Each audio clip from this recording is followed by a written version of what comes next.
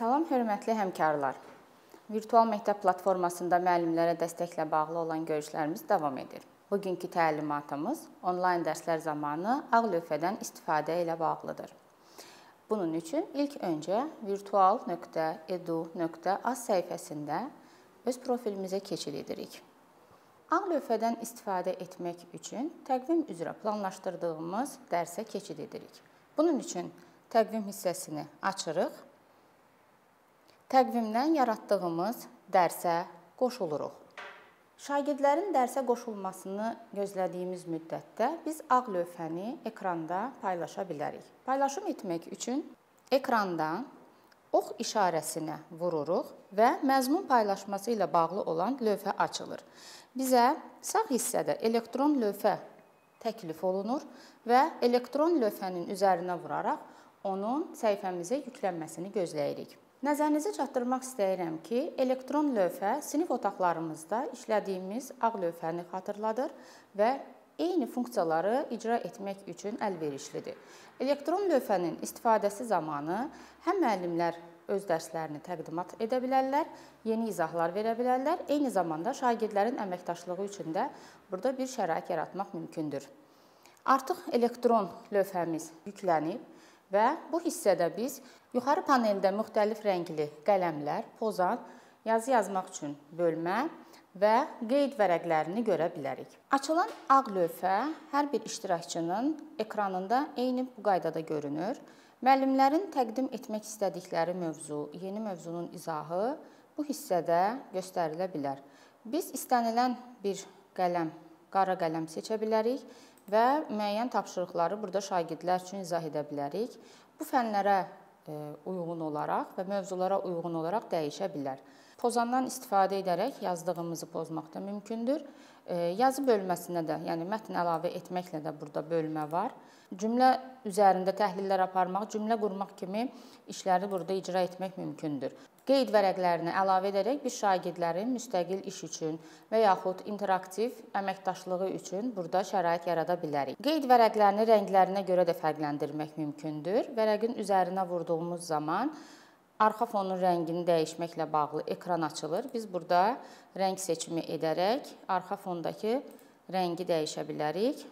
Digər bir vərəq yükləsək, onun da arxa fonunu dəyişmək üçün biz e, yuxarıdan dairə işarəsinin üzərinə vururuq və arxa fonun rəngini dəyişə bilərik və bu hissədə şagirdlər üçün müəyyən tapşırıqların icra edilməsini e, şərtlərini yaza bilərik. Qeyd etdim ki, ağ lövhədən istifadə həm müəllimlər üçün, həm də şagirdlərin əməkdaşlığı üçün əlverişlidir.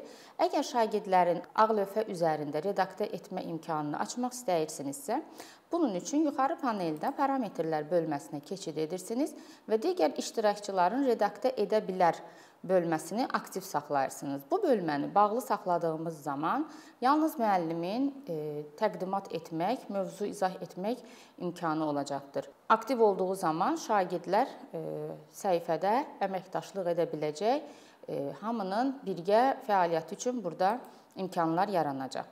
Dərslərdə iştirak edə bilməyən və eyni zamanda mövzunun daha sonra təkrarlanması üçün şagirdlər bu lövhəni müəllimin verdiyi izahları sonradan da izləyə bilərlər. Bunun üçün iki üsul vardır. Yuxarı bölmədən parametrlər hissəsinə keçid edərək təsviri ixrac et əmrinə vurmaq kifayət edəcəkdir. Mən hazırda əvvəlki dərslərdə istifadə etdiyim lövhəni paylaşacağam və onun üzərində əməliyyatları necə icra etdiyimizi sizin üçün təqdim edəcəm. Daha bir öncəki dərsdə mən xarici dil fənnindən şagirdlər üçün cümləni inkar formada qurmaqlarını tapşırıq kimi təyin etmişdim və hər bir şagirdə müxtəlif rəngli vərəqlərdən istifadə edərək onların həmin vərəqlər üzərində cümlələrini yazmağı tapşırmışdım. Bu hissəni şagirdlər icra etdikləri, yəni dərs prosesində icra etdikləri zaman dərs bitdikdən sonra təsviri ixrac et əmrinə vuraraq biz həmin lövhənin şəkil formasında öz cihazımıza yükləndiyini görürük və aşağı hissədən yüklənmiş sənədlər içərisindən biz sənədi taparaq üzərinə vurub və onu aça bilərik. Biz təsviri daha sonra virtual məktəbdə fayllar bölməsinə yerləşdirə bilərik bütün şagirdlər üçün əlçatan olsun, mövzunu daha sonra təkrar etmək imkanları olsun. Digər bir üsul isə lövhə üzərində aparılmış əməliyyatları izləmək üçün yenidən təqvim hissəsinə qayıdırıq. Yaradılmış görüşə daxil olduğumuz zaman görüşün parametrlər bölməsi açılır. Yuxarı paneldə ağ lövhə adlanan bir bölmə görürük.